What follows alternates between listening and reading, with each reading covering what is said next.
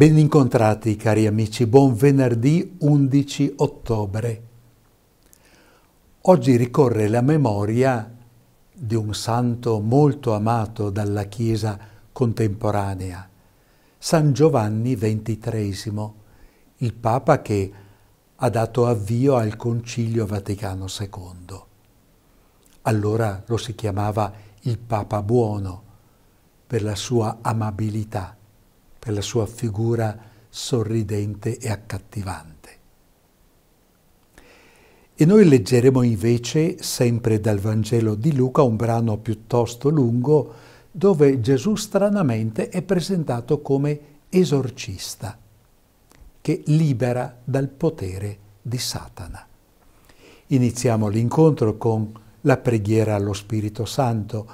Vieni, Santo Spirito, vieni e visita il mio cuore, apri il mio cuore all'incontro amoroso con Dio, ponimi alla scuola di Gesù, con Lui io possa pregare, con Lui io possa contemplare, con Lui io possa amare, con Lui io possa dire Padre, Padre nostro, Padre di tutti gli uomini. Amen. Ascoltiamo.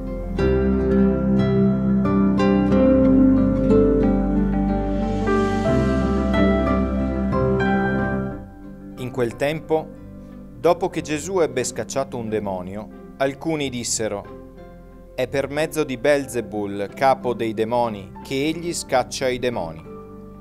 Altri poi, per metterlo alla prova, gli domandavano un segno dal cielo. Egli, conoscendo le loro intenzioni, disse, Ogni regno diviso in se stesso va in rovina e una casa cade sull'altra.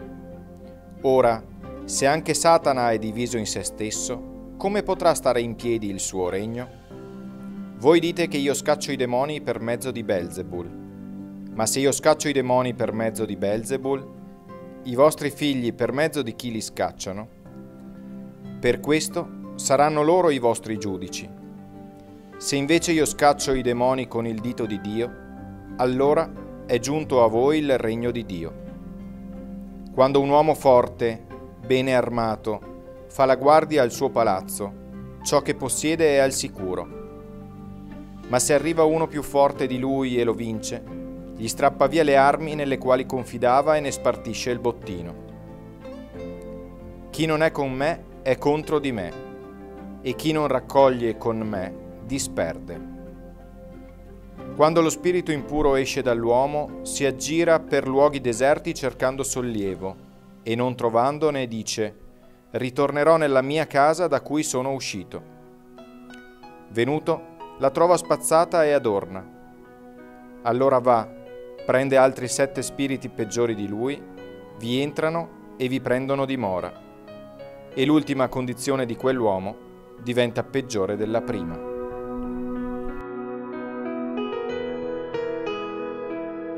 Non si può negare che sia un testo, quello che abbiamo ascoltato, un po' complicato e non sono in grado, per la mancanza di tempo, di spiegare tutti i particolari di questo Vangelo.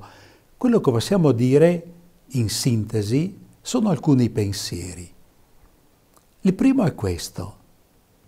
Una delle azioni di Gesù è quella di liberare le persone dalla possessione demoniaca, di vincere la presenza del demonio nelle persone da lui dominate, controllate, abitate. E per Gesù questo è uno dei segni più grandi della liberazione e della misericordia di Dio verso gli uomini li libera dentro, non solo da un male fisico, da un male psichico, ma anche da un male spirituale, dalla presenza del demonio.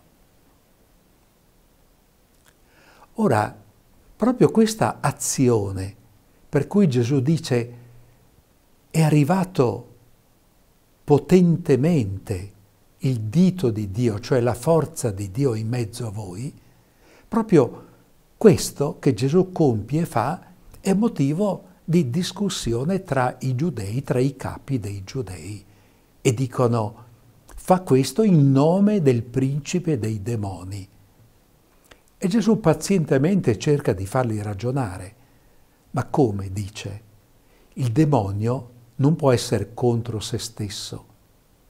E poi i vostri esorcisti sanno in forza di che cosa si può liberare una persona dal demonio? Con la preghiera e con il digiuno.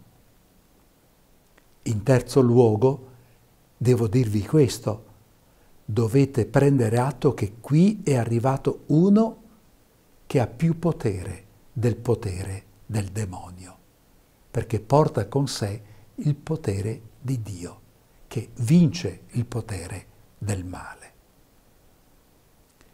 Ma ovviamente se uno non vuole ascoltare, non ascolta. E se non è libero di ascoltare cordialmente, si oppone con ottusità di mente e di cuore.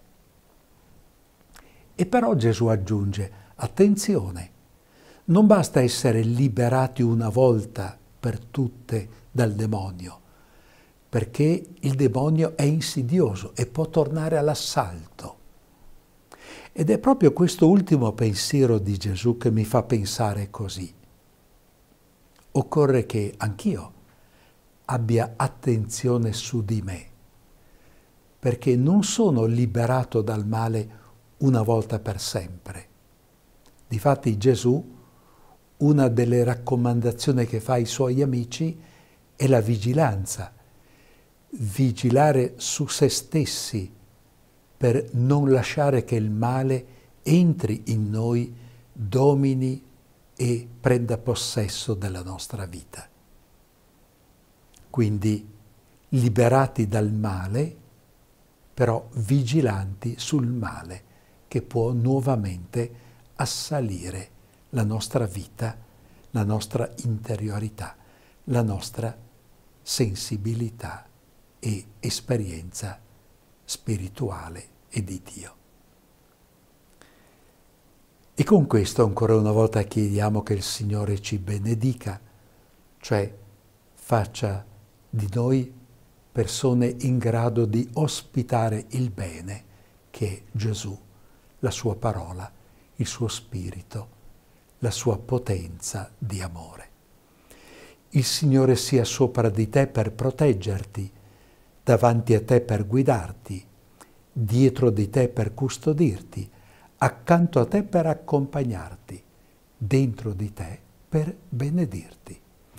Nel nome del Padre, del Figlio e dello Spirito Santo. Amen e arrivederci a domani.